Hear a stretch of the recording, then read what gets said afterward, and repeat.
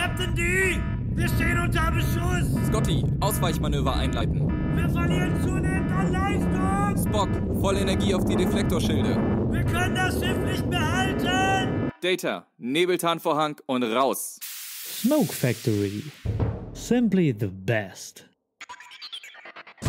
Event Rookie, der Podcast aus der Veranstaltungsbranche.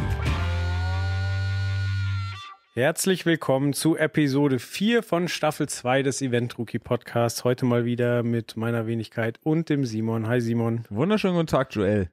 Weißt du das eigentlich mal alles auswendig, welche Staffel wir gerade? Also Staffel ist klar, aber welche Folge? Oder guckst du vorher nach? Cheatest du? Äh, ich gucke vorher nach, aber das ist jetzt bei uns nicht so schwer, weil die Folge vom Podcast immer dieselbe ist wie beim Heft, was wir gerade abgeben. Ah. ah bist halt doch, ne? Bist halt so klug für diese Welt. Manchmal, manchmal.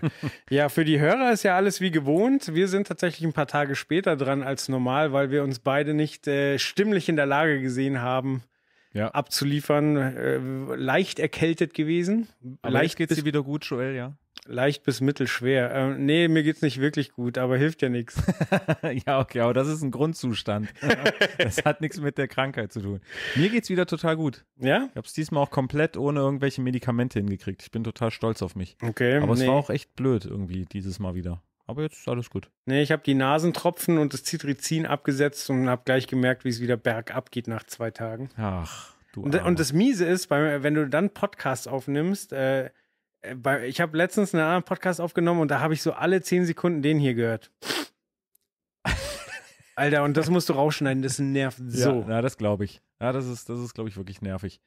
Naja, aber ja, jetzt sitzen wir hier wieder zusammen, nehmen wieder eine schöne neue Folge auf und äh, wir saßen ja vor kurzem eigentlich erst zusammen. Das stimmt. Wegen unserer äh, Spezialausgabe zur vergangenen Pro Light and Sound. Also, ja, wir bombardieren unsere Hörer jetzt gerade mit Podcasts zu. Ja, ungeahnte Frequenzen. Ja. Aber auch da, das ist, äh, wie gesagt, ich finde das immer sehr schade. Äh, das ist ja bei unserem, bei unserem Heft im Endeffekt genau das Gleiche. Ähm, ja, dass man nie so erfährt, kam das jetzt gut an, kam es nicht gut an, fanden die Leute das informativ, fanden sie es nicht informativ. Mich würde es immer total interessieren, ob die Leute das äh, ja gern gehört haben, ob sie es gut fanden, ob sie es nicht gut fanden, aber Vielleicht können wir ja generell nochmal einen Aufruf äh, starten. Ja. Wenn du gerne diesen Podcast hörst, dann Gib uns doch mal Feedback und gib uns vor allen Dingen mal eine Rezension auf iTunes, weil da hat sich schon eine Weile nichts mehr gerührt und die Hörerzahlen sagen eigentlich, dass doch der eine oder andere da draußen sein müsste, der das hört. Ja. Ich fand es auch wirklich super toll, ähm, dass wir auf der ProLight Sound, dass da wirklich viele an unseren Stand kamen und gesagt haben, dass sie halt den Podcast hören und das auch echt gut finden und so weiter. Was mich persönlich total freut, weil ich, äh, und ich gebe es ja zu, ich bin ja eher so der, der Podcast, ähm, ja. Mehr der Macher, nicht der Konsument. Nee, gar, ja, also vor allem halt auch der, der das Ganze ein bisschen skeptisch gesehen hat von Anfang an, weil ich halt wirklich nicht äh, so groß im, im Podcast-Thema drinne mhm. war oder bin. Ähm, und deswegen fand ich das total faszinierend, dass da so viele Leute kamen, die gesagt haben, ja, hören wir und total cool. Und ähm, ja, wie du schon sagtest, das wäre natürlich total toll, wenn man das äh, in der heutigen digitalen Welt auch äh, so weit nach vorne tragen können, dass da im Endeffekt ähm, ja eine Bewertung abgegeben wird oder äh, eine Rezension oder ähnliches. Äh, genau das gleiche auf Facebook. Also mir ist jetzt aufgefallen, dass man, glaube ich, sogar mit einer Bewertung auf Facebook irgendwie das, das Ranking, sein eigenes Ranking nach oben pusht oder irgendwas. Und äh, ich sage jetzt mal, da wir aber nicht diejenigen sind, die das Ganze irgendwie faken wollen und äh, 80 Millionen Freunden von uns Bescheid sagen, hier, bewer Denn wir sind beliebt. mal. ähm, Wäre es halt total cool, wie gesagt, natürlich nur, wenn ihr dahinter steht, äh, wenn ihr irgendwas davon gut findet, Event Rookie, Facebook-Seite oder wie gesagt, den Podcast, ja, einfach mal irgendwie einen Klick machen auf äh, ein paar Sterne und da würden wir uns natürlich sehr freuen. Wenn ihr das nicht machen wollt, liegt gerne auch einfach eine kurze Mail an uns, äh, gerne direkt an mich, an sk.eventrookie.de oder an äh, den Joel, also an js.eventrookie.de. Ja, und dann einfach mal erzählen, ob ihr, wie gesagt, was ihr gut findet, was ihr nicht so gut findet, weil nur so, ja, können wir entweder so weitermachen oder uns einfach verbessern. Ja. Ich will jetzt auch noch erzählen, dass wir gerade so, so, wir können Augenkontakt halten, aber uns steht ein Rechner dazwischen, weil der, der, Raum, wo wir eigentlich aufnehmen wollten, der war schon verplant und jetzt haben wir, haben wir uns hier hingebaut und jetzt, jetzt kann ich mich immer so ducken, dann sieht er mich nicht mehr und dann. Ja, aber dann rutsche ich in meinem Stuhl ein bisschen höher und dann kann ich dich doch wieder sehen. Ja. Das hat schon was Intimes. Ach ja, schön. Schön. Apropos intim, oh, war ja. Jetzt, wie, ja, okay, die Überleitung. Nee, die wird nichts. Ähm, nein, ähm, wie, wie, wie war es die letzte Zeit? Warst du irgendwie groß unterwegs, äh, schöne Reportagereisen gemacht oder ähnliches? Oder äh, was war in letzter Zeit bei dir so angesagt? Mm, ja, direkt nach der Messe bin ich für zwei Tage nach Mailand geflogen. Oh, eine feine Herr. Ja. ähm, und habe da eine, eine Kunstinstallation besuchen dürfen. Mhm.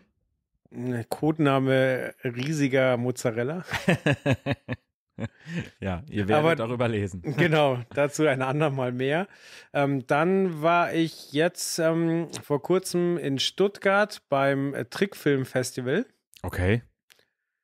Ja, Riesenfestival ist die 25. Ausgabe, also seit äh, 25 Jahren machen die das. Ich wow. Hoffe, ich jetzt. Ja, doch, genau, 25. Ähm, was, dafür ist es relativ neu, dass es halt auch ähm, öffentliche Plätze gibt, weil also es ist ein Festival, für das man zahlen muss und da mal, trifft man dann unter anderem Zeichentrickkünstler, es gibt Workshops und so weiter und es okay. werden natürlich auch Filme gezeigt, für die man äh, bezahlen muss. Es gibt aber jetzt auch ein, ein öffentlichen Platz quasi, wo man sich kostenlos mitten in Stuttgart äh, dann Filme zeigen ka äh, kann. Einfach auch, um dieses Festival noch ein bisschen bekannter zu machen in, in cool. der Region. Ja. Genau, und das haben wir uns angeschaut, das war ganz cool. Dann im aktuellen Heft äh, ist ja eine Reportage über ähm, Planet Erde 2. Aha. Ähm, du hast es irgendwie mit, mit Kino und Filmen, oder? Ja, es ergibt sich immer so. Das stimmt, aber da haben wir ja später auch nochmal ein Thema, wo man da ein bisschen genauer ins Detail gehen kann. Ja. Ich glaube, das war es bei mir im Groben. Wo hast du ja, dich denn rumgetrieben? Lass mich überlegen. Nach dem Pro Light and Sound war ich bei den Beatsteaks in Hamburg, mhm. in der Sporthalle in Hamburg. Das war auch, äh, also ich war da vorher noch nie für eine Reportage, deswegen ich bin da ja immer total äh, heiß drauf, irgendwelche neuen Locations quasi mitzunehmen. Ähm, das war auch wirklich äh, sehr, sehr witzig. Auch die Interviewsituationen alleine schon waren schon sehr witzig, weil ich äh, mit dem Lichtdesigner äh, Gunnar Lose quasi vor der Halle die, die das Interview geführt habe. Und okay. das ist halt direkt neben, äh, weiß ich nicht, der Polizeiakademie von Hamburg oder von ganz Deutschland, so riesig wie das Ding war. Und da sind sie halt gerade irgendwie mit ihren Wasserwerfern und in voller Montur bei gefühlten 30 Grad im Schatten irgendwie lang und ja, äh, mussten da trainieren und sonst was. Äh, das war halt eine, eine schöne Situation.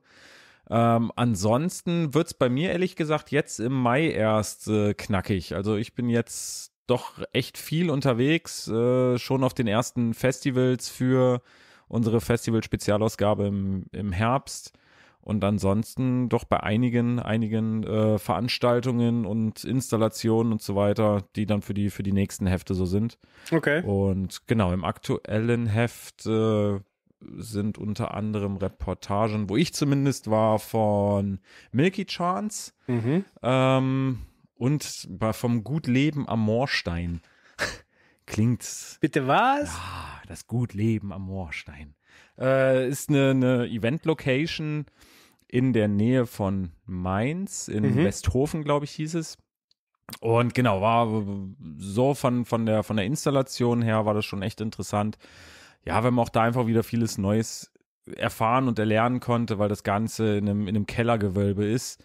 Und genau, da, wie gesagt, die, die Reportage findet ihr in der aktuellen Ausgabe des Event Rookie Magazins. Okay, aber wurde da extra was gebaut oder wurde da quasi ein altes äh, Kellergewölbe zweckentfremdet? Äh, zweiteres. Also das ist im Endeffekt ist das ganze Konstrukt sozusagen ist ein äh, Hotel, ein, ich sag jetzt mal hochklassiges Restaurant und mhm. der Betreiber hat dazu, wie gesagt, noch entdeckt, dass auf diesem ja, Gutshof quasi, dass es da Kellergewölbe gibt mhm. und die hat er sozusagen komplett äh, saniert, restauriert, wie auch immer, leer gemacht und äh, aus der einen aus dem einen Gewölbe oder der einen Röhre quasi ähm, eine Event-Location gemacht und direkt daneben ist im Endeffekt baugleich ähm, nochmal ein, ja, das gleiche Gewölbe sozusagen.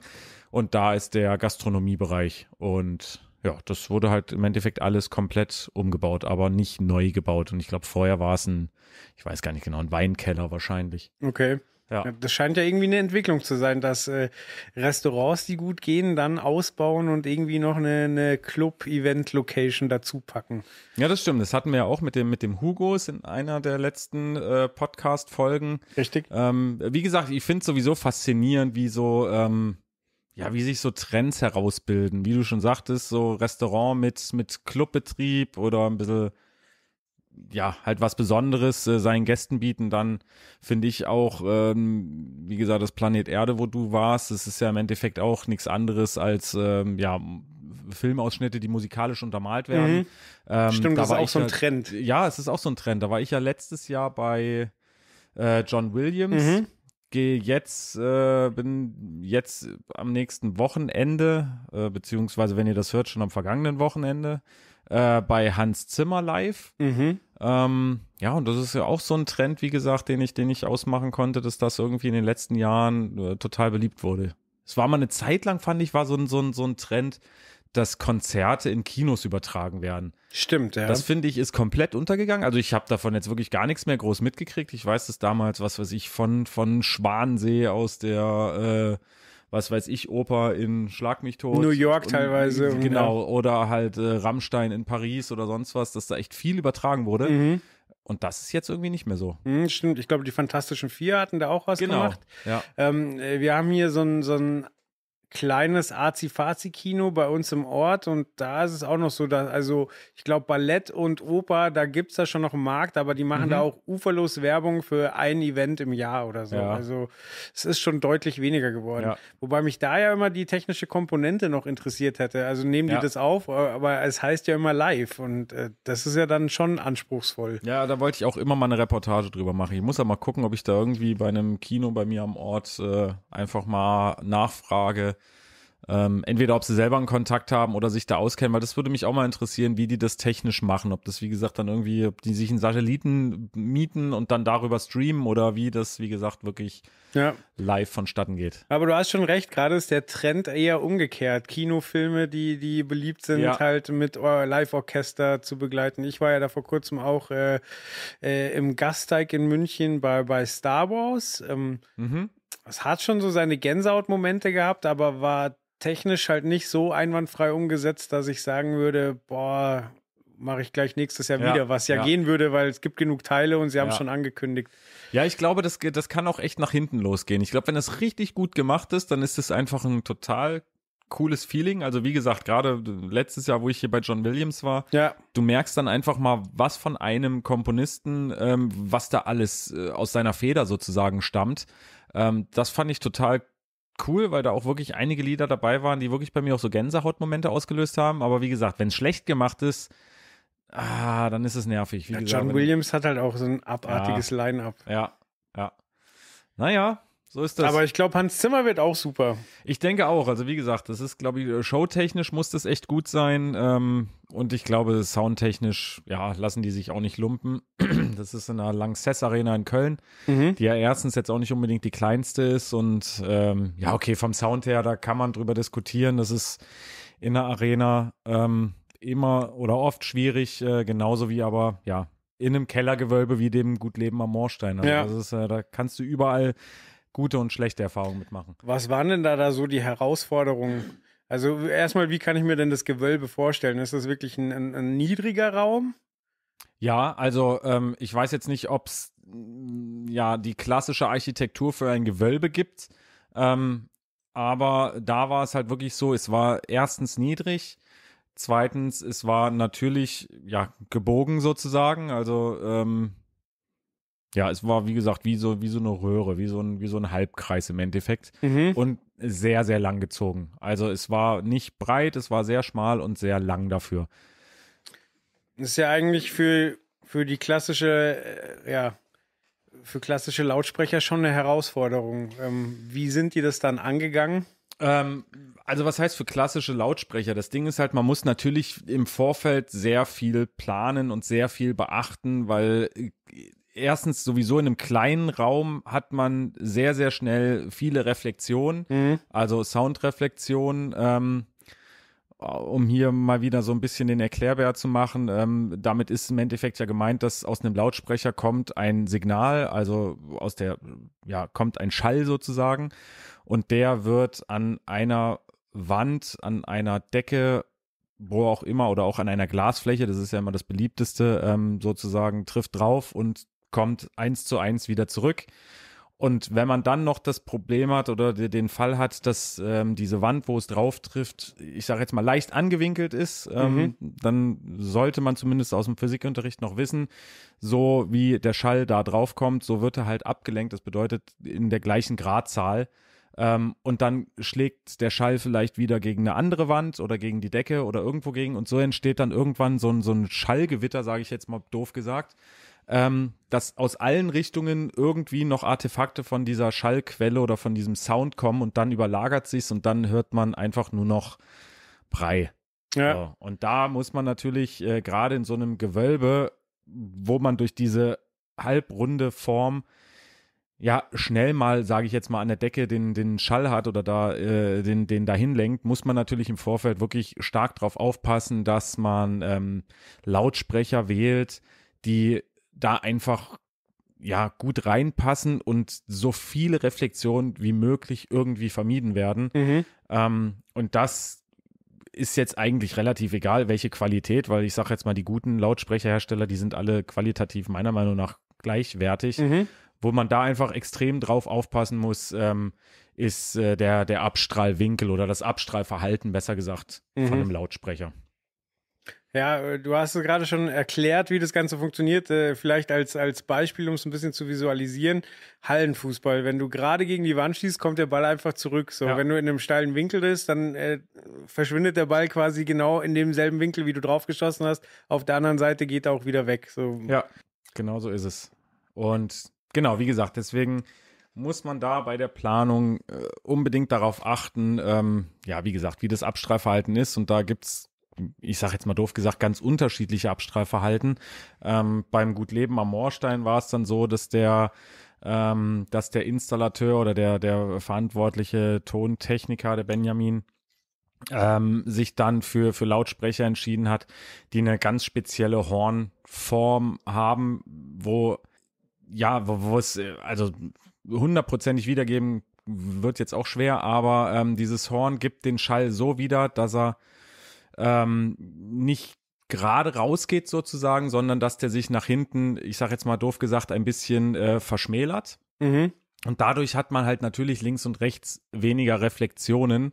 Und das war für ihn halt auch ausschlaggebender Punkt, warum er sich halt für diese Lautsprecher entschieden hat, weil er damit wirklich äh, nicht direkt gegen die Wand gesteuert hat oder gegen die Decke, sondern den Schall so bestmöglich richten konnte, dass wirklich äh, ja der Sound einfach gut war. Mhm. Für mich zum Verständnis, wir hatten ja jetzt hier in unserem Messespezial äh, das neue Produkt von Kling und Freitag und da mhm. war ja die Besonderheit, dass man quasi die Lautsprecher intern drehen konnte und so den Abstrahlwinkel beeinflussen konnte. Das ist genau das Thema, oder? das fällt zumindest mit in dieses Thema Abstrahlcharakteristik und Abstrahlwinkel und so weiter. Wie mhm. gesagt, das ist jetzt vom, vom, vom, von der Umsetzung her natürlich nochmal was anderes als, mhm. äh, wie gesagt, dieses spezielle Horn, was da im, im Gutleben am Moorstein vorkam. Aber am Ende des Tages, ja, wie gesagt, geht es genau darum, dass man halt guckt, ähm, was habe ich für einen Raum und mit welchem, mit welchem Winkel oder mit welcher Abstrahlung muss ich da am besten reingehen. Also es gibt ja unterschiedlichste Lautsprechertypen. Es gibt ähm, Point Source Lautsprecher, was halt ja Punktschallquellen sind sozusagen. Es gibt äh, Line Array Lautsprecher ähm, und alle haben eigentlich unterschiedliche oder andere Abstrahlcharakteristika. Bei einem, bei einer Point Source, wie gesagt, was im Endeffekt einfach nur bedeutet, okay, du hast einen Lautsprecher mhm. und damit versuchst du eine bestmögliche oder größtmögliche Fläche zu beschallen. Okay. Ähm, bedeutet, dass du da auf dem,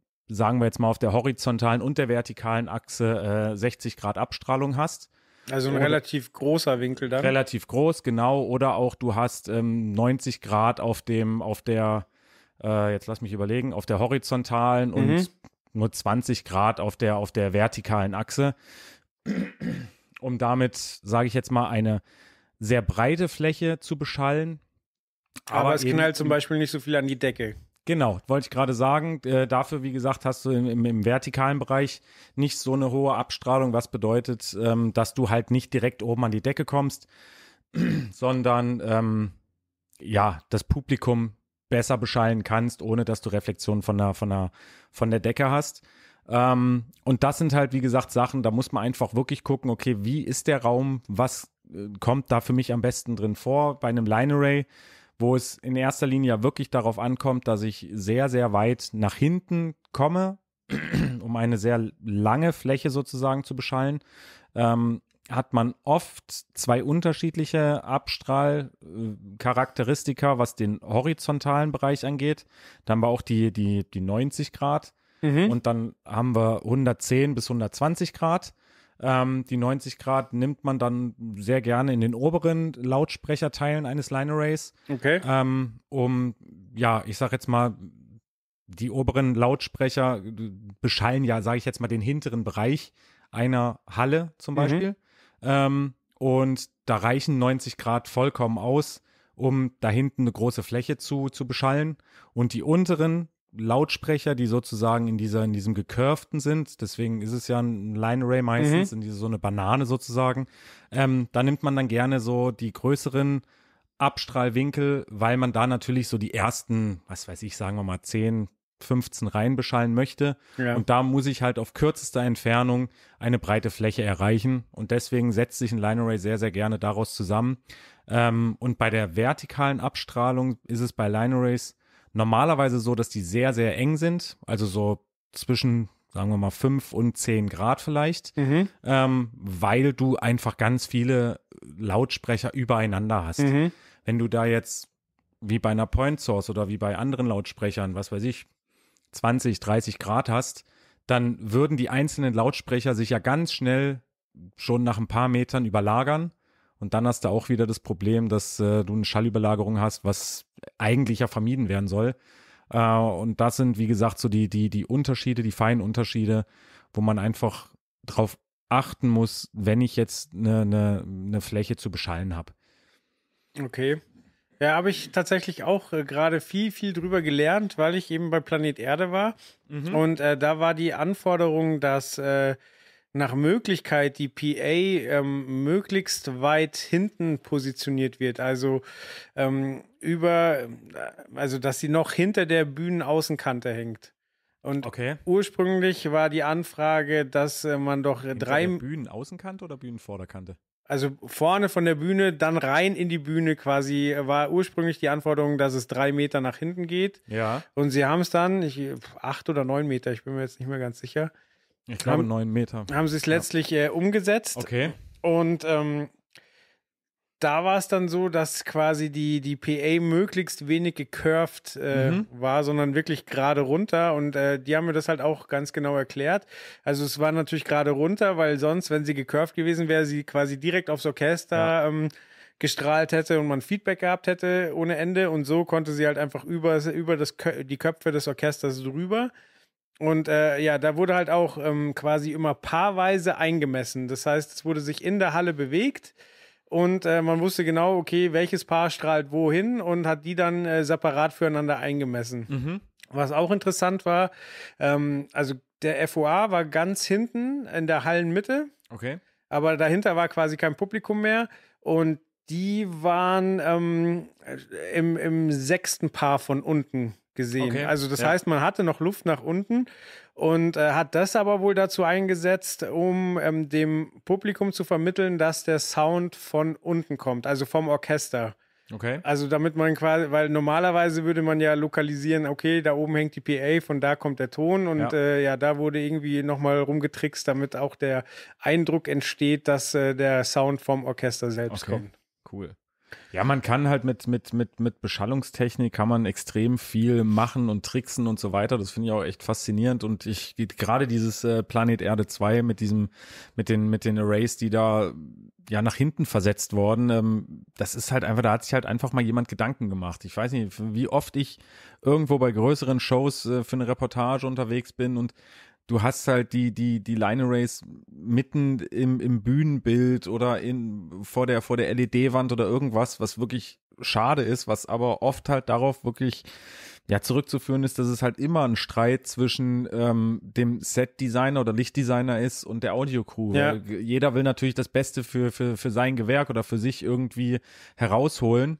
Ähm, und da finde ich es halt dann einfach toll, dass man sagt, ja, es geht halt auch anders. Man kann es halt auch einfach mal nach hinten hängen, dann sieht man perfekt auf der Leinwand und man kriegt einen guten Sound. Ja. Aber wie gesagt, gerade bei sowas, da ist es ja noch viel, viel wichtiger, irgendwie wirklich auf Abstrahlcharakteristika und so weiter zu achten, weil ähm, ein, ein Orchester ja normalerweise wirklich mit, äh, mit ja, kleinen Clip-Mikrofonen wie, wie ein, ein DPA-Mikrofon oder ähm, wirklich sehr, sehr fein abgestimmten äh, Schöps- oder Neumann-Mikrofonen ja. ähm, ausgestattet ist.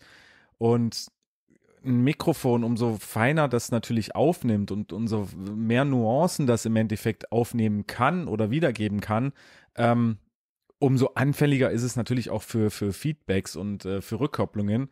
Äh, deswegen muss man da natürlich extrem drauf aufpassen, dass da äh, nicht irgendwie äh, irgendwas Schallmäßiges von, von, von der PA da auf die Bühne kommt, weil, wie gesagt, ansonsten fängst an zu fiepen und zu hupen und ja, das will man sowieso nie, aber gerade wenn es jetzt irgendwie so eine Orchesterproduktion ist, da ist es, glaube ich, komplett fehl am Platze. Aber wie gesagt, wenn man sich damit beschäftigt, wenn man vorher weiß, okay, mein Raum oder meine Anforderung ist so und so, dann gibt es meiner Meinung nach für jedes Problem gibt es eigentlich auch eine Lösung. Ich meine, klar, es gibt auch Räume, die kriegst du einfach nicht perfekt beschallt. Mhm. Ähm, da kann man machen, was man möchte. Da, die sind architektonisch vielleicht so gebaut, dass es wirklich einfach nicht geht. Außer, was weiß ich, jeder Platz kriegt seine eigene PA-Box oder sonst irgendwas, aber irgendwo muss man auch aufs Budget achten. Ja. Ähm, ansonsten gibt es wirklich fast für alles ähm, ne, einen passenden Lautsprecher. Wie gesagt, man muss es einfach nur sich selber berechnen oder aufzeichnen und am Ende des Tages, und das ist halt das Ding bei uns in dieser Veranstaltungstechnikbranche, ähm, basiert fast alles immer nur auf Physik. So, mhm. und ich kann mich hinsetzen und ich kann auf einem Blatt Papier, kann ich mir meine Veranstaltungshalle mit dem richtigen Maßstab einfach aufzeichnen, kann mir meine zwei Lautsprecher da reinzeichnen und kann dann mit einem Geodreieck oder womit auch immer genau ausmalen und ausrechnen, wo sich jetzt der Schall hin verteilt ähm, wenn ich jetzt weiß, was weiß ich, ein Lautsprecher hat, wie gesagt, 90 Grad auf der, auf der horizontalen und 60 Grad auf der vertikalen, dann kann ich ganz genau gucken, okay, wie ist die Schallverteilung? Wie muss ich es drehen und wenden, aufhängen oder hinstellen, damit ich, wie gesagt, nicht zu sehr äh, gegen eine Wand, gegen eine Decke, gegen den Boden oder sonst wo ähm, beschalle, damit ich halt so wenig Reflexion wie möglich hinkriege. Ja. Aber es ist alles kein Hexenwerk. Also es ist alles irgendwo machbar. Ja, ist halt auch immer eine Frage der Vorbereitung, aber dafür ja. gibt es ja dann Hallenpläne und äh, man virtueller Soundcheck und Pipapo, um, um ja. halt in den verschiedensten Bereichen dann noch zu optimieren. Ja, Mega vor allem ganz kurz, also ich meine, das ist ja, das ist auch das Schöne, was jetzt mittlerweile wirklich moderne Programme auch bieten, die auch kostenfrei erhältlich sind. Also wie gesagt, im großen Bereich bei, bei Line Arrays und so weiter, ähm, da gibt's von eigentlich jedem großen Hersteller gibt's eine Software, wo ich sage, okay, das und das ist mein Raum. Ähm, ich habe so und so viele Lautsprecher, ich will die so und so hinhängen und jetzt zeig mir mal, wie die, wie die Schallverteilung ist. Mhm. Ähm, wo ich die, die, die, die Ausbildung zur, zur Fachkraft für Veranstaltungstechnik gemacht habe und da auch wirklich den ein oder anderen, das ein oder andere Projekt übernommen habe oder übernehmen durfte äh, wo es auch darum ging, okay, ich soll jetzt planen, wie ich hier die Beschallung mache. Mhm. Ähm, da gab es sowas halt einfach noch gar nicht, beziehungsweise das, ja. Jetzt hat er sich geoutet, er ist alt. Ja, es tut mir leid, damals 1830, da war das noch nicht.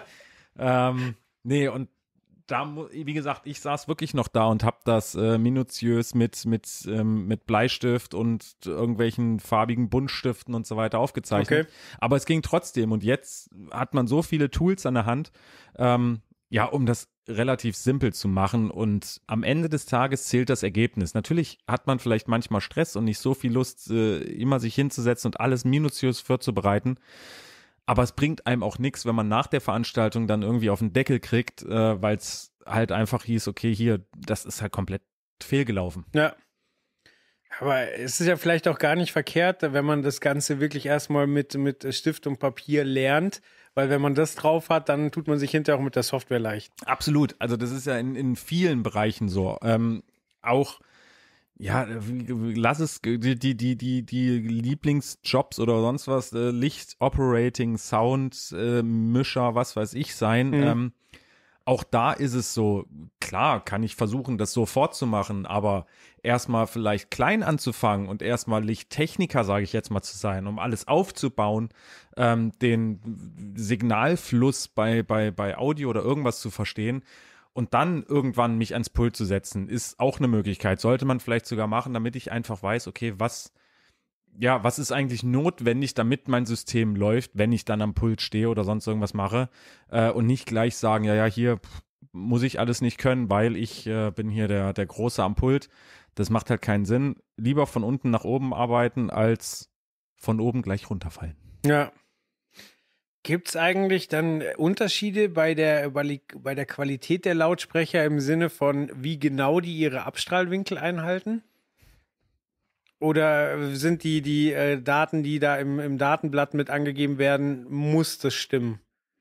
Na, was heißt müssen? Also müssen bestimmt nicht, weil wenn man sich Scheinwerfer anguckt und sich da manchmal irgendwie Zoom-Bereiche anschaut und mhm. so weiter, ähm, da wird auch ein bisschen nach oben und unten getrickst. Da gibt es halt auch so, so ein paar unterschiedliche, sage ich jetzt mal, Messmöglichkeiten, Messprotokolle und so weiter, womit man das auch ich sage jetzt mal doof gesagt, äh, ungestraft machen kann. Also eine Strafe gibt es eigentlich sowieso nicht, außer vom Kunden, der sich aufregt und sagt, hier, das stimmt so nicht. Mhm. Ähm, aber es gibt viele Möglichkeiten, wie man Dinge messen kann und wie man das dann auch für sich selber die beste Messmethode sozusagen findet, um das, was man da schreiben möchte, ähm, ja auch beweisen zu können, sage ich jetzt mal doof gesagt. Ähm, bei Lautsprechern ich sag mal, bei 90 Grad Abstrahlverhalten wird es jetzt nicht auf das eine Grad ganz genau sein, aber okay. man hört es schon ziemlich genau, wenn man wirklich aus dieser Achse rausgeht, kriegt man schon sehr, sehr genau mit, ähm, dass da der, der Sound einfach abnimmt oder dumpf wird oder wie auch immer. Ähm, aber wie gesagt, ich kann mich jetzt auch nicht dran, also keine Ahnung, gibt bestimmt den einen oder anderen, der das schon mal richtig minutiös durchgemessen hat und geguckt hat, ob das wirklich ganz genau hinhaut. Ähm, aber wie gesagt, erstens, nein, ich glaube nicht, dass das hundertprozentig hinhaut mit 90 Grad zum Beispiel, äh, sondern es werden dann 91, irgendwas mhm. oder 92 sein. Ähm, ja, aber wie gesagt, mich würde es auch mal äh, interessieren, ob es da, ähm, ob es da irgendjemand gibt, der das schon mal genau so gemessen hat, obwohl ich das, glaube ich, auch, ja, es ist halt schwierig, weil du müsstest das Ganze ja dann wirklich in einem schalltoten Raum machen. Weil sobald du irgendwo in einen anderen Raum gehst, ähm, oder selbst auf dem freien Feld, wie gesagt, Reflexion oder irgendwas hast du immer, selbst auf dem freien Feld hast du mhm. Wind. Ja. So, wie willst du jetzt genau die 90 Grad bestimmen, wenn du trotzdem irgendwo eine Reflexion oder eine Windverwehung oder sonst irgendwas hast? Ähm, wirst du halt, ja, wirst du nicht hinkriegen. Ja, ja, aber es ist interessant. Jetzt hatten wir schon zwei Fälle und mir fällt noch ein dritter ein. Äh, wir hatten quasi einmal ähm, das äh, Gewölbe, wo, wo quasi äh, die, der gegebene Ort äh, bestimmt hat, wie man das Ganze angeht. Dann hatten wir jetzt äh, Planet Erde, wo ähm, quasi die Position der Lautsprecher ein bisschen äh, ähm, vorgegeben hat, mhm. wie das Ganze auszusehen hat. Und jetzt war ich ja noch bei dem Trickspiel, äh, Trickfilmfestival und da war es ja so quasi, dass ähm, vor der LED-Wand eine Sitzfläche war, wo Zuschauer sein konnten. Das mhm. Ganze war aber mitten in der Innenstadt in der Fußgängerzone. Und da okay. war, war halt quasi auch die Aufgabe, dass quasi das Publikum, was da ziemlich breit vor der Leinwand sitzt, ähm, den, den Ton von den Trickfilmen noch hört, aber quasi sobald du ein bisschen weiter gehst in die Fußgängerzone, sollte halt möglichst wenig ankommen. Und mhm. das halt dann auch, wurde halt auch ausgemessen und äh, es war schon auch faszinierend, wie gut das funktioniert. Ja. Dass du halt wirklich, also ja, du hast schon hier und da noch was gehört in der Fußgängerzone, aber es war absolut nicht mehr ja. störend. Ja. Nee, das ist äh, generell ist das faszinierend, was wie gesagt, wie man wie man Schall auch, ich sage jetzt mal doof gesagt, austricksen kann. Man sieht das ja an an Subwoofern immer wieder. Mhm. Ähm, ein Subwoofer hat ja eine, ich sag jetzt mal, ja, kugelgerichtete Abstrahlung. Also ein Subwoofer kannst du überall in den Raum stellen. Du wirst überall, sage ich jetzt mal, den Bass halt hören, ja. weil du den nicht richten kannst, sondern der strahlt nach hinten ab, nach links, nach rechts, nach vorne, überall hin.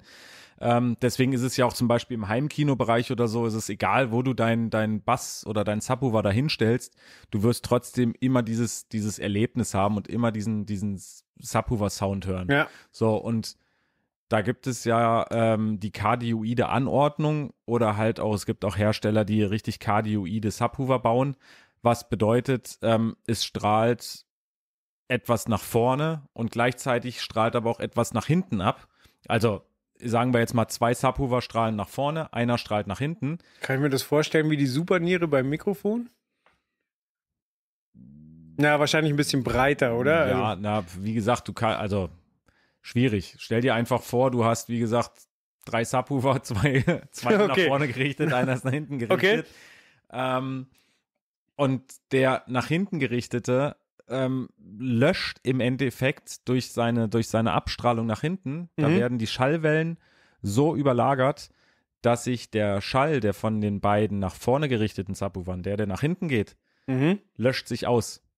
So, mhm. das bedeutet, du hast hinterm Subwoofer Ruhe. Hinterm Subwoofer Ruhe. So, das klingt erstmal so, äh, wie gesagt, wenn man es selber noch nicht erlebt hat und irgendwo wirklich mal gucken konnte, klingt das so von wegen, ja, ja, naja, hm, ist vielleicht ein bisschen leiser. Nee, es ist wirklich so, man kann bei einem gut eingestellten System oder bei sehr gut gebauten äh, kardioiden Subwoofern gehst du vorne lang und du spürst den Bass und du merkst es und du hörst ihn und das drückt einfach nur und du gehst einmal drumherum und du hast wirklich Stille. Du kannst dich normal wie wir jetzt unterhalten, was du davor nicht machen kannst. Okay. Und das ist, äh, wie gesagt, was, wo ich sage, okay, auch da sind wir wieder im Bereich ähm, nicht der Abstrahlcharakteristik oder irgendwas, sondern wirklich einfach nur dieses ganze Schall und Sound und Berechnung und sich überlegen, was man halt macht. Ähm, was extrem wichtig ist in einem Bereich zum Beispiel von, von einem Stadtfest. Ja. In einem Stadtfest, es gibt so viele ähm, Vorschriften, was die Emission angeht und so weiter. Ähm, wenn ich da jetzt eine Bühne habe, die mitten in der Stadt aufgebaut ist und wo dahinter vielleicht äh, ein Wohnhaus ist oder lass es in ein paar hundert Metern Entfernung sein, trotzdem kannst du ein System so aufbauen, dass zumindest der Bass nach hinten gerichtet einfach weg ist. Mhm. Was halt auch, wenn du einen Backstage-Bereich hast, ähm, der sehr bühnennah ist, wo du aber wirklich dich einfach nur normal unterhalten möchtest und nicht ständig zehn Stunden äh, Gewummer haben willst, ja. macht das halt vollkommen Sinn, weil das andere Positive durch diese Aufbauweise ist halt auch noch, dass der Schall, der nach vorne geht, sogar noch ein bisschen verstärkt wird. Also das ist, wie gesagt, da gehen wir jetzt aber wirklich ganz weit in die Physik rein, ähm, wo ich auch äh, dann irgendwann die, die, die Hände heben muss. Mhm. Ähm, aber es ist faszinierend, dass du wirklich nach vorne gerichtet ein bisschen mehr Druck hast und nach hinten wird es komplett ausgelöscht. Und aber so, so ist es doch ein Traum. es ist ein Träumchen. Definitiv. Nee, und wie gesagt, so ist es ja bei den, bei den Line Array Modulen, beziehungsweise bei den, bei den Hochtönern. Ähm, ist es halt auch so, dass du die genau so ausrichten kannst, ein Line Array, dass du halt, ja, du kannst vorher genau sagen, welche, ähm, welche, welche Fläche soll beschallt werden und welche halt nicht. So, mhm. und dann hast du äh, super Vorteile, wenn du wirklich ein Open Air irgendwo in einem Bereich hast, wo ähm, Anwohner sind oder ähnliches. Du kannst halt einfach sagen, okay, hier, ich will das hier haben, Bescheid haben und das andere nicht. Ähm, ja, frag mal die Leute bei, bei Rock im Park, was mitten in Nürnberg ist. Frag die Leute irgendwie beim, äh, beim Wacken Open Air, was auch mitten in der Ortschaft ist. Ähm, und du kannst halt einfach genau sagen, nee Leute, hier ist meine Simulation. Das ist der zu beschallende, die zu beschallende Fläche. Und darüber hinaus geht's halt auch nicht. Und so ist es dann, ja, ich sag jetzt mal in, in 99 Prozent der Fälle. Ja.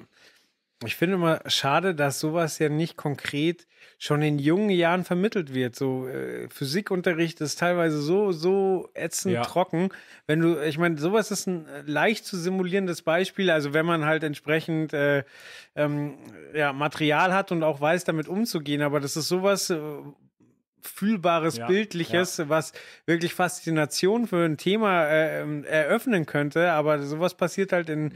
in jungen Jahren echt, echt selten. Also es ist bei mir auch ganz ehrlich, also ich war in der Schule jetzt nicht unbedingt der Musterschüler, vor allem nicht in Physik, also mhm. überhaupt nicht. Ich meine, Mein Vater ist Physiker, ich glaube, der, äh, hat sich, der hat sich auch gedacht, was habe ich da falsch gemacht? Mhm. Aber es war, es war überhaupt nicht meins. Und ähm, ich bin froh, dass ich ehrlich gesagt mit den Noten überhaupt irgendwo eine Ausbildungsstelle zur, zur Fachkraft für Veranstaltungstechnik bekommen habe. Mhm. Ähm, aber danach war ich ähm, ja doch einer der Klassenbesten in der Ausbildung, in der Schule. Einfach, weil dann plötzlich mich das Ganze interessiert hat. Und wie gesagt, dann plötzlich ist, äh, sind es die gleichen Physikaufgaben wie in der Schule. Ähm, also in einer normalen Schule, sage ich jetzt mal. Aber ja, plötzlich äh, steht dann eine Eins oder eine Zwei auf der Arbeit. Einfach nur, ja, wie du schon sagtest, weil es einen interessiert und weil es einfach ganz anders, dass die, die physikalischen Grundgesetze rübergebracht werden, ähm, als in der normalen Schule, wo, ja, was weiß ich, wo, womit auch immer hantiert wird. Ja, ich glaube, es ist halt auch immer wichtig äh, zu verstehen, warum man was macht, äh, den Sinn dahinter zu verstehen. So Prozentrechnung auch total dämlich, bis dir mal jemand erklärt, so, ja, du musst Steuern damit berechnen. So, okay, jetzt weiß ich, wofür es gut ist, dann gucke ich es mir auch an. Ja. So, und äh, bei, bei Physik halt ähnlich. So, ja. da gibt es Vorgänge, die sind sofort trocken und dann so, ja, mir ist egal, ob das träge ist oder äh, Beschleunigung, Reibung, so wofür. So, ja. bis, bis dann halt mal konkrete Beispiele kommen und sagen, ah, dafür, okay. Mhm. So, ich kann äh, was optimieren, ich kann was besser machen, wenn ich das drauf habe. So, und dann, dann macht es auch eher Klick wahrscheinlich. Ja, definitiv. Ach, oh. schön, wie wir mal wieder vom Thema abschweifen. Ja. Und die Moralkeule schwingen. Ja, gut, dann kommen wir langsam zum nächsten Thema. Jetzt haben wir schon mehrere ähm, äh, ja, Szenarien gezeichnet, warum man äh, zu gewissem Zubehör greift. Ähm, du warst aber auch jetzt bei Milky Chance und da gibt es nochmal einen anderen Grund, warum die bestimmtes Equipment aussuchen. Erzähl erstmal, ähm, wer sind Milky Chance für die Leute, die es nicht wissen? Was machen die? Äh, Milky Chance ist eine deutsche ja, Musikgruppe. Ähm, seit 2013, glaube ich, sind die am Markt und auch relativ schnell sehr erfolgreich und beliebt geworden. Ähm, komischerweise, selbst wenn man den Namen nicht kennt, wenn man irgendwie danach googelt oder irgendwas oder bei YouTube guckt oder bei Spotify oder was es nicht alles gibt ähm, und sich einfach mal ein paar Songs von denen anhört, sage ich mal, werden 80 bis 90 Prozent äh, sagen, oh, ah, ja, das Lied kenne ich, ja. Der, mhm. der Sänger hat eine krass eigenständige ja. Stimme, so, das dauert keine drei Sekunden und sagt, ah, die. So, mhm, ja. Genau, also liegt bestimmt auch daran, dass die, glaube ich, bei dem einen oder anderen Werbespot schon irgendwie äh, mhm. im Hintergrund ähm, ja, abgespielt wurden. Äh, genau, zumindest äh, Milky Chance ist äh, eine Band, die für mich gefühlt seit ungefähr, ja, seitdem es die gibt, auf Tour sind. Wie gesagt, da immer, wenn ich irgendwo was bei, bei Facebook oder wo auch immer sehe, ähm, ist irgendwie Milky Chance hier in Australien, Milky Chance da irgendwo in Nordamerika. Ähm, die sind wirklich gut unterwegs, machen viel im, im Tourneebereich. Und ich glaube, die aktuelle Tournee läuft jetzt auch schon wieder seit knapp zwei Jahren. Okay. Und äh, genau, Jojo Tillmann, der Lichtdesigner, wurde ja jetzt auch auf der vergangenen ProLight mit einem äh, Opus Award ausgezeichnet für die, für diese, für diese Lichtshow. Und genau, wie gesagt, sind halt nicht nur in Deutschland, sondern wirklich weltweit unterwegs. Mhm. So, und somit, äh, wenn man so viel auf Tour ist und vor allen Dingen in so vielen verschiedenen äh, Ländern auf äh, Tour ist, dann gibt es halt auch die eine oder andere Herausforderung, die man meistern muss. Richtig. Allein schon logistisch. Genau, also ähm, es gibt natürlich unterschiedliche Szenarien, wie man an so eine Tournee rangeht. Man kann eine Tournee machen und sagt, okay, ich möchte das, das ja, benötigte Licht, Audio, Video, Bühnenmaterial gerne einfach von einem örtlichen Dienstleister mir geben lassen. Mhm. Ähm, auf Deutsch gesagt, du fliegst nach Amerika, schickst vorher ähm, zu irgendeine, äh, schickst vorher zu, zu, zu irgendeinem örtlichen Dienstleister deinen technischen Rider, sagst halt, was du brauchst und dann wird dir das da dann auch meistens zur Verfügung gestellt oder zumindest ähnliches Equipment. Ja. Ähm, ja, kann man machen, machen vor allem halt auch die ganz großen Acts. Ähm, bei etwas kleineren Acts, die versuchen natürlich irgendwo hier, ähm, sagen wir mal, wenn es wirklich ein deutscher Act wie Milky Chance ist, versuchen hier einfach einen Partner zu finden, ähm, wo sie dann das Material mitnehmen können oder Teile des Materials und gerade auch ähm, ja, was, was Audio, Licht und so weiter, gerade die, die, die Steuerungsmöglichkeiten angeht, sind ja oft die, die Techniker gerne mit ihrem eigenen Equipment unterwegs oder aber zumindest mit dem Equipment,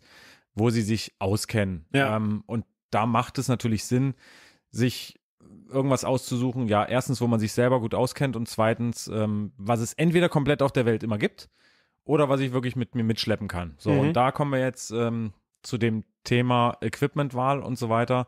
Ähm, bei Milky Chance, da ist es wirklich so, wie gesagt, sie sind weltweit unterwegs und der Jojo oder auch der, der Timo, das ist der, der äh, Front of House Mischer oder auch der, der Markus, das ist der Monitor-Techniker und Monitormischer. Ähm, die gucken natürlich oder haben vorher geguckt, okay, wir würden halt gerne oder möchten unser Material, ähm, Pultmaterial mitnehmen, weil da ist alles drauf gespeichert und da wissen wir halt einfach, dass wir die Show gut über die Bühne bringen sozusagen Mhm.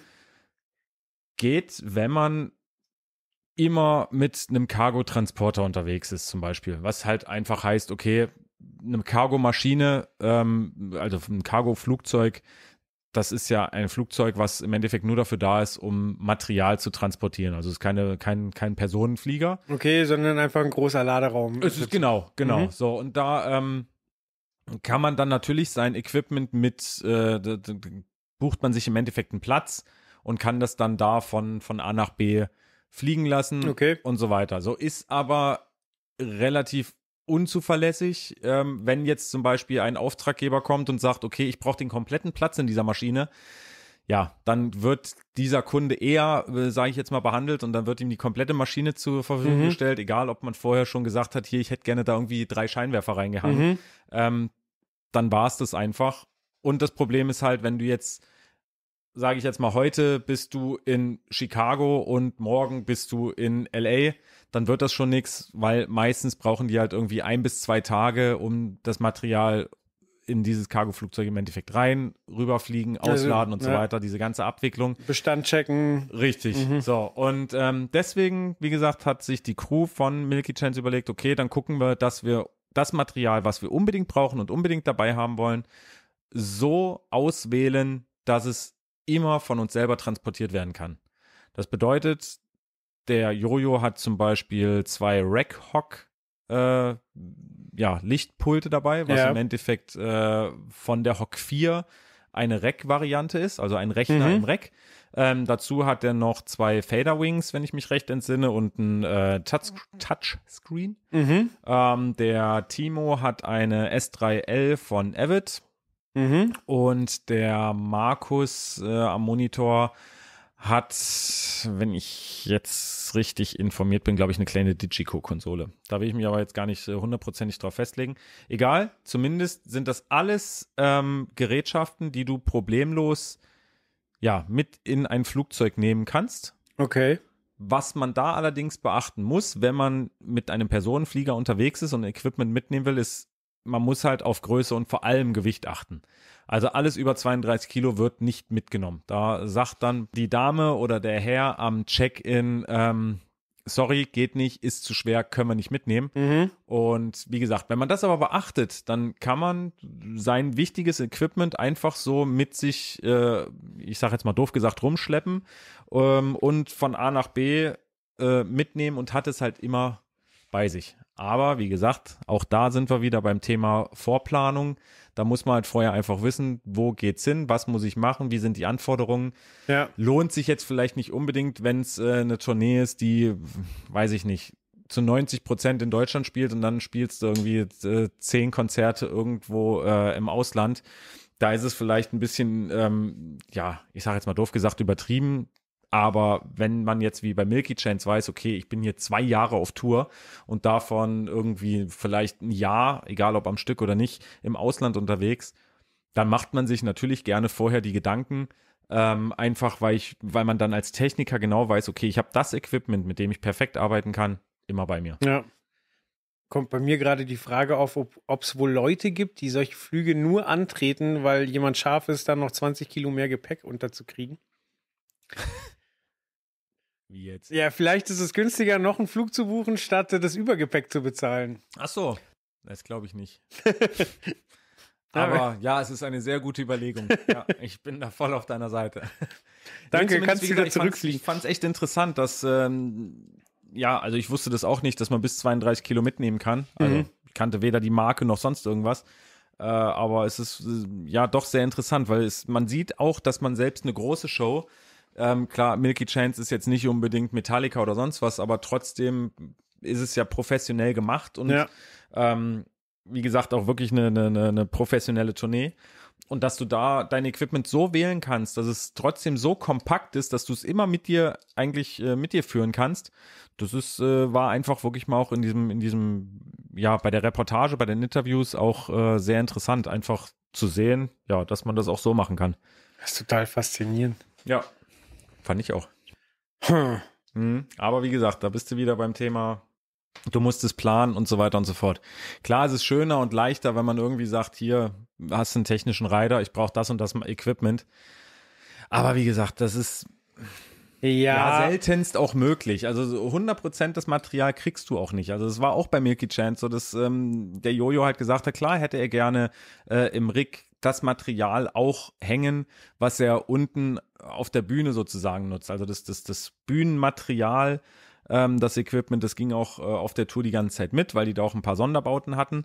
Ähm, aber das alles, was im, im Dach hing sozusagen, das äh, kam von örtlichen Dienstleistern mhm. und er hat auch gesagt, es ist leider Gottes im seltensten Falle genau das, was er braucht. Okay. Jetzt ist es glücklicherweise ja wirklich so bei uns in der Branche, gerade im Lichtbereich, ähm, ja, dass man sagt, okay, hier, ich brauche einen Washlight, der hat die und die oder muss die und die Eigenschaften haben. Mhm. Da hast du selten, selten den Fall, dass du nur einen einzigen Hersteller oder ein Produkt hast, sondern meistens sind es unterschiedliche Hersteller mit unterschiedlichen Produkten, die aber eigentlich sich sehr ähneln und dann geht es schon. Aber ja, ja wie gesagt, es ist, äh, wenn man genau das haben will, was man braucht, dann kommt man eigentlich um, um Tour-Tross nicht drum herum. Ja, wenn man halt schwerpunktmäßig sein eigenes Zeug verwendet, dann ist wahrscheinlich auch die Fehlersuche wesentlich einfacher. Ja. Als wenn man da irgendwas rangekarrt bekommt äh, und dann äh, feststellt, okay, irgendwas funktioniert nicht und du dann auf die Suche gehen musst. Äh, ja. Oder teilweise die Sachen halt so halb funktionieren, keine Ahnung. Ein Scheinwerfer, der komplett vergilbt ist, so mhm. der, ja, der, der geht schon an, wenn er soll, ja. aber Du, das ist alleine schon bei, bei, bei Gobos der Fall. Ich meine, mhm. wie oft hatte ich, wo ich, wo ich noch aktiver Lichttechniker war, ähm, den Fall, dass man irgendwie, ja, zehn gleiche Scheinwerfer, also vom gleichen Typ hingehangen hat. Ähm, aber bei zweien oder dreien oder was weiß ich, war plötzlich an der einen Position anderes Gobo drinne. Einfach weil du die Gobos in den Gobo-Rädern meistens ja tauschen kannst. So und oft macht man das halt auch, wenn man jetzt ein, ein Gobo für, einen für einen Kunden oder ein spezielles Kunden-Gobo hat. Dann nimmt man halt eins von den äh, normal verbauten Gobos raus, macht da das Kunden-Gobo rein mhm. und was weiß ich, vertauscht dann aber doch irgendwas miteinander und plötzlich, äh, wie gesagt, sind dann Gobos an unterschiedlichen Stellen ja, und dann hängst du da irgendwo auf einer Veranstaltung, willst gerade deine Programmierung machen und denkst dir, ja, toll, jetzt muss ich hier den Scheinwerfer noch aufschrauben und irgendwelche Gobos tauschen oder was. Ja, das macht jetzt nicht wirklich Spaß. Und mhm. da ist es natürlich cool, wenn man sein eigenes Zeug dabei hat. Aber wie gesagt, manchmal oder oft geht's halt einfach nicht. Und da muss man halt gucken, dass man da irgendwelche Kniffe und Tricks äh, für sich selber erarbeitet, dass ich mir selber die, ähm, ja, die Aufgabe leicht mache oder die Arbeit so vereinfacht wie möglich mache. Ja, ja, ich finde schon echt immer cool. Aber also da, das ist wirklich so ein Thema, wo man merkt, so, es bringt doch was, nicht nur spontan zu sein. Klar, Spontanität und, und äh, Flexibilität ist wichtig, aber wahrscheinlich ist noch eine ganze Spur wichtiger, einfach im Voraus zu planen und sich vorher Gedanken zu machen, bevor es überhaupt losgeht. Was mache ich? Ja, definitiv. Also ab, absolut. Also ich würde sogar wirklich sagen, dass das äh, Spontanität und Flex, also Flexibilität, ja, Spontanität, ähm, ich sage jetzt mal wirklich im, im sehr professionellen ähm, Veranstaltungstechnikbereich ist, glaube ich, ähm, Spontanität jetzt seltenst gefragt. Ich meine, man muss flexibel sein, ja, weil mhm. du kriegst halt nicht immer das Material gestellt, was du, was du dir wünschst oder was du gerne hättest oder was du auch gefordert hast.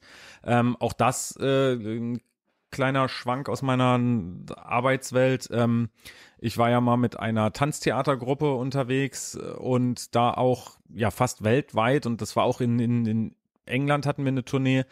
Ähm, natürlich habe ich da vorher meine, meine, meinen technischen Reiter rumgeschickt, aber mhm. wie gesagt, da wurde auch vorher immer gesagt, ja, ja, das kriegen wir alles hin, das haben wir alles da. Sondern kommt man an und plötzlich war entweder gar nichts da oder mhm. es war komplett was Falsches da, was weiß ich, man hat Fresnel-Scheinwerfer bestellt und dann plötzlich hieß es, ah nee, also wir haben ganz viele Profiler da, die könnt ihr ja auch nutzen. Mhm. So, und dann muss man natürlich so flexibel sein, dass man sagt, okay, kriege ich auch hin, weil am Ende des Tages zählt nur eins und das ist, die Show muss spielen und der, das Publikum, egal ob zahlend oder nicht zahlend, darf nicht fest oder merken, was du vorher für einen Stress hattest. Das ist das A und O. Ja. Aber wie gesagt, ich glaube, so richtig spontan auf irgendwas reagiert habe ich so gut wie nie, weil es immer wichtig ist, dass du dir vorher einen Kopf machst und dass du dir vorher wirklich überlegst, okay, was will ich machen, wie will ich es machen, ähm, ja, weil sonst stehst du auf der Veranstaltung und das kann dir echt manchmal das Genick brechen, ja. dass du einfach nicht weiterkommst. Und im Vorfeld kannst du noch ganz, ganz vieles lösen. Du kannst Leute fragen, die du vielleicht kennst oder ähm, ja, ja, in diversen Foren oder auf Facebook oder sonst wo äh, kannst du nachfragen, wenn du, wenn du einen Lösungsansatz äh, brauchst. Das kannst du aber nicht mehr, wenn du auf einer Veranstaltung stehst, zwei Stunden zu Aufbau, zum Aufbauen hast, eine Stunde zum Einleuchten und dann geht's los. Ja. Dann wird's doof. Vielleicht sollte Spontanität durch Improvisationstalent Ach, ersetzen. Nee, siehst du, und schon klappt das doch. Das hätte ich mir die letzten drei Minuten hier sparen können. ah, schön. Dann würde ich sagen, kommen wir zum abschließenden Thema. Ja. Und zwar ähm, Bin ich gespannt. Ja, wollten wir so ein bisschen zwischen ähm, den verschiedenen Projekt Projektionstechniken ähm, unterscheiden und ein bisschen die Vor- und Nachteile abwägen. Mhm. Anfangen tun wir mal damit, dass du die Lang AG besucht hast. Genau, ähm, auch das wiederum in unserem jetzigen, in unserer jetzigen Ausgabe. Ähm, wie schon mehrfach gesagt, haben wir ja pro Ausgabe immer einen Ausbildungsbetrieb, den wir vorstellen. Ähm, und da war ich dieses Mal bei der Lang AG in Lindlar, mhm. ähm, die bestimmt vielen ein Begriff ja, sein sollte, könnte, wie auch immer. Und äh, auch da werden Fachkräfte für Veranstaltungstechnik ausgebildet. Ähm, ein wirklich riesiges Unternehmen, hätte ich vorher so nicht gedacht. Ähm, das Faszinierende da finde ich ja auch, dass man die, die, die Lang AG eigentlich ja selber auf einer Veranstaltung nicht sieht, weil äh, das wollen sie auch gar das nicht. Das wollen sie nicht und genau, es sind im Endeffekt ist es ja eher eine ein Unternehmen, das ähm, ja Projektionstechnik oder Videotechnik, sage ich lieber mal, ähm, vermietet, äh, verkauft und äh, ja, man da auch Schulungen sozusagen machen kann. Und deswegen, wie gesagt, sieht man die Lang AG eigentlich auch nirgendwo, weil es halt wirklich so ist, dass sie nur an ja an ihre an die Systemintegratoren, an Eventdienstleister vermieten äh, und da ihr ihr Know-how auch gerne mitgeben. Ähm, genau, aber äh, so kam es halt, dass, dass das Thema Videotechnik in der nächsten Ausgabe erstens durch die Lang AG ein großes Thema ist und dann natürlich auch durch, durch dich mit der äh, Planet Erde 2 ja. Reportage und ähm, genau, es ist einfach nach wie vor, ja, was heißt faszinierend? Ich finde es einfach toll, dass es viele, viele unterschiedliche Projektionsmöglichkeiten gibt und da sage ich jetzt nicht, oder das soll nicht bedeuten, dass ich jetzt hier vom Projektor spreche, sondern wirklich von, von Bilddarstellung sozusagen. Da gibt es ja. ja unterschiedlichste Techniken. Ja, also Planet Erde war es wohl in den letzten Jahren noch so, dass da wirklich mit, mit äh, Projektoren und Leinwänden gearbeitet wurde und äh, jetzt erst seit kurzem auf eine LED-Wand umgestellt wurde. Mhm. Ähm, hat alles seine Vor- und Nachteile. Denn Definitiv. Der Nachteil bei der LED-Wand da, also Gut, äh, war für sie jetzt kein Problem, aber ich sag mal, es klappt halt nicht überall. Die LED-Wand hat halt neun Tonnen gewogen. Mhm. Da ist eine Leinwand schon, schon wesentlich ja. leichter. Ja. Ähm, Vorteil ist halt, dadurch, dass die LED-Wand, da kommt das Licht von der LED-Wand. Sonst, wenn du eine Leinwand hast, äh, hast du Reflexion und äh, du hast ja gerade bei einem Orchester dann auch mal äh, reflektierende Instrumente, die dann äh, zu Irritation führen können.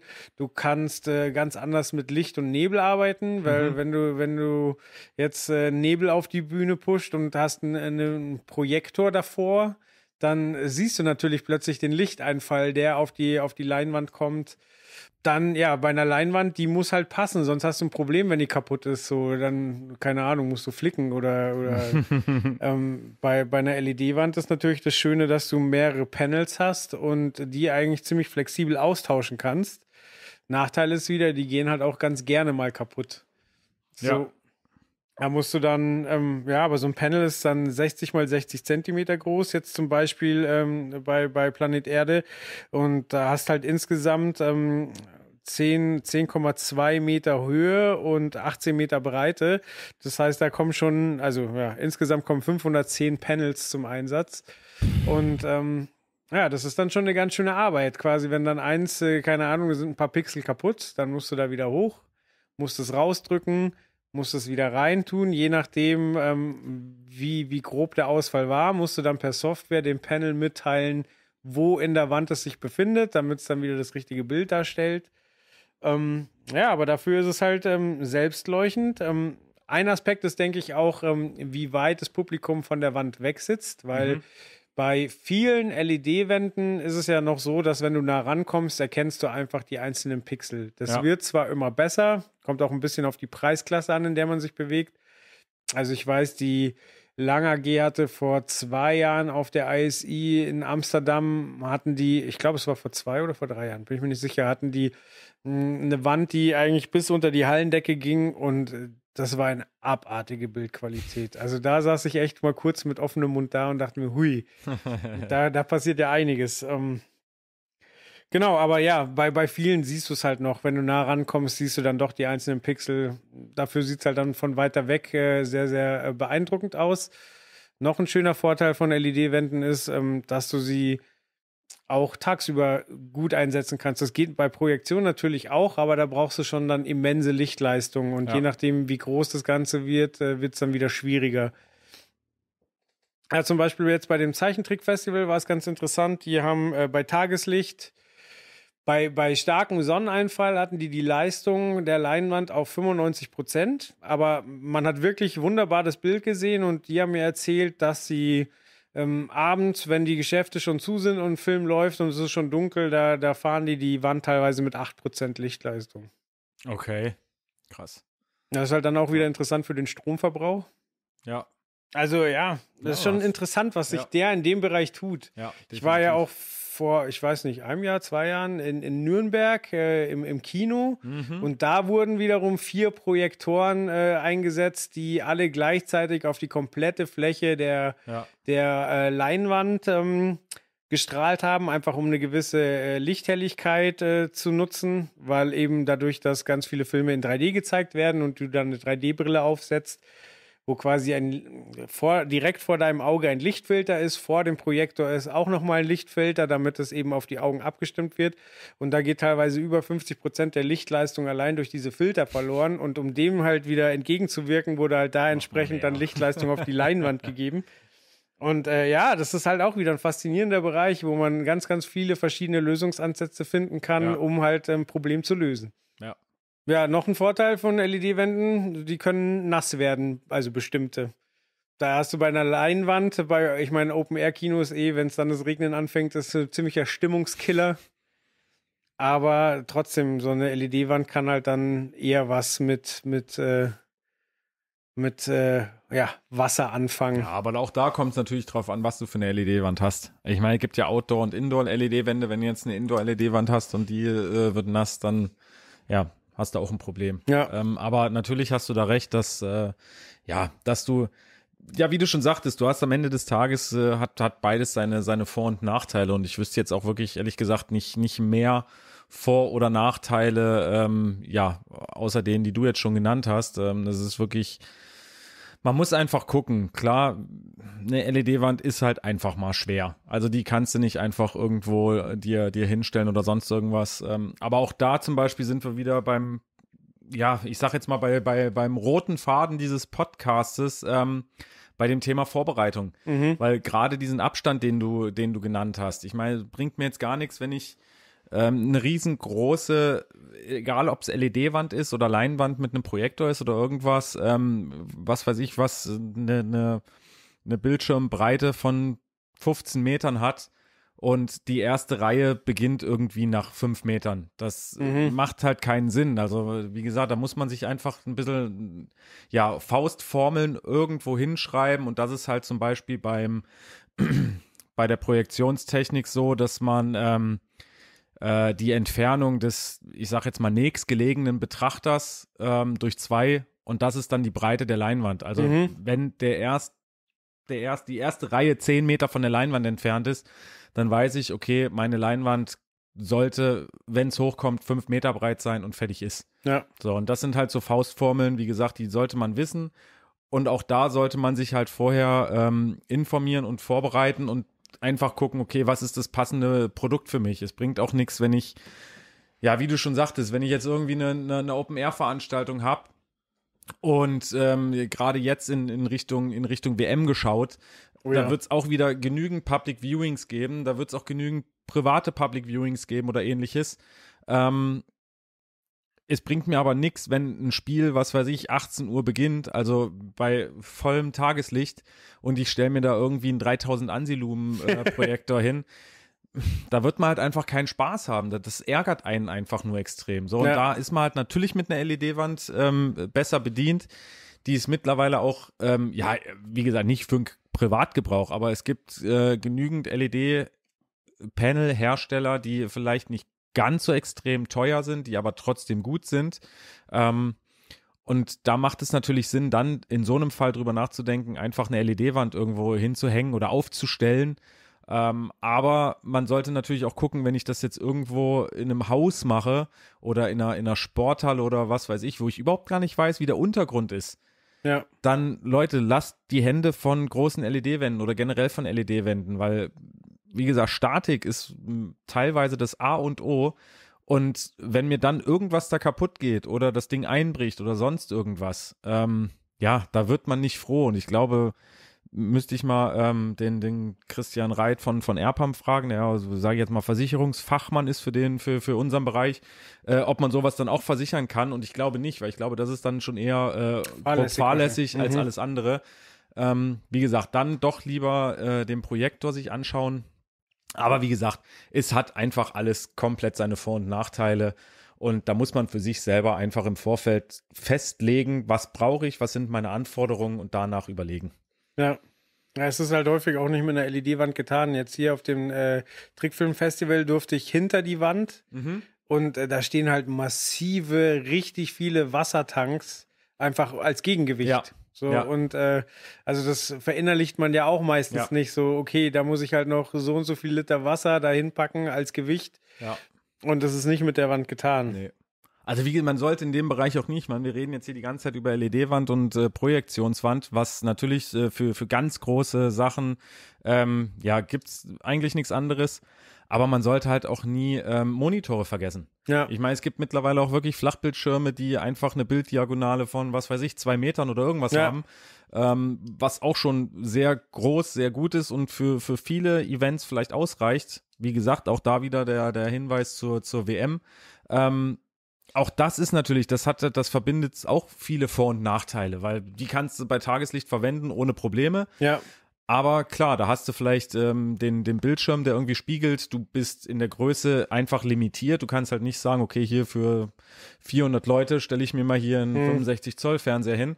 Ähm, wie gesagt, deswegen denkt vorher drüber nach, fragt, wenn ihr euch nicht sicher seid, einfach, ähm, ich sage jetzt mal Experten, auch wenn es äh, jemand von der Lang AG, Publitech oder was weiß ich ist. Ähm, ich wette, die helfen euch gerne, wenn ihr da anruft und sagt, hier, ich habe das und das geplant, was würdet ihr denn machen? Ähm, ihr könnt gerne bei uns auch nachfragen und äh, wir versuchen unser Bestes zu geben, euch da zu unterstützen oder äh, Kontakte weiterzugeben. Aber wie gesagt, egal ob Licht, Video, Bühne, Ton, sonst irgendwas, ähm, Vorbereitung, Leute. Ihr solltet euch vorbereiten und das ist, das ist alles. Sagt der Lehrer. So, und jetzt äh, Genau. Klassenhefte raus. So, dann haben wir jetzt das Ende vorbereitet. Die Moralkeule geschwungen. Ja. Das, immer wenn die Moralkeule kommt, dann weiß man, das ist wie bei guten Sitcoms. So am Ende kommt die Moral von der Geschichte. Ja, aber eigentlich müssten wir jetzt langsam, irgendwann müssen wir mal anfangen, so Cliffhanger zu machen. So, Ja, schon das mal so erfahrt ihr in der nächsten Folge. Für die, für die nächste Folge, damit die Leute auch unbedingt die nächste Folge von uns hören möchten. Ja, dazu müssten wir planen. Ja, okay. Das, das. Nee. Da, wir müssen das nicht, also ihr müsst das, Leute, ihr müsst planen. Wir, wir dürfen planlos sein. Ganz genau. Nein, wir hoffen, äh, wie gesagt, oder ich hoffe auf jeden Fall, dass ihr euch wirklich wieder einiges an, an Infos und ähm, ja, Tipps und Tricks aus diesem Podcast irgendwie ziehen konntet. Ähm, ja, wie gesagt, ich hoffe ja, wir machen sowas nicht äh, nur, damit wir uns anderthalb Stunden hier hinsetzen und gegenseitig in die Augen blicken können, sondern dass die Leute auch irgendwas davon haben. Also, ja, wie gesagt, bis zum nächsten Mal oder danke fürs Zuhören. Dem kann ich mich nur anschließen. Vielen Dank und bis zum nächsten Mal. Ciao. Ciao.